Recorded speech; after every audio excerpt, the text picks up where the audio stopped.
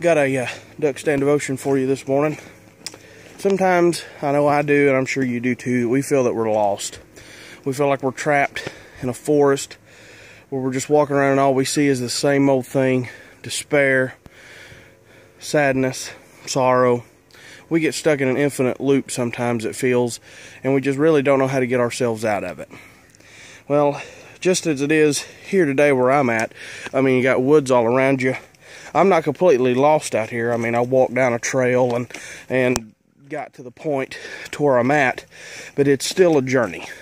Where you walk in your Christian walk with God is always going to be a journey, no matter where you go, no matter what you do.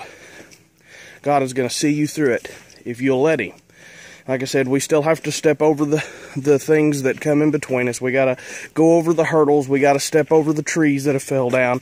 Sometimes we have to clear the path because the enemy tries to distort our minds and put stuff in our path. And sometimes God tests us with things in our path to just see how we're going to handle it. But no matter where you walk, no matter what you go through in life, whenever you finally hit that point and you walk out of the wilderness, the view is just absolutely breathtaking.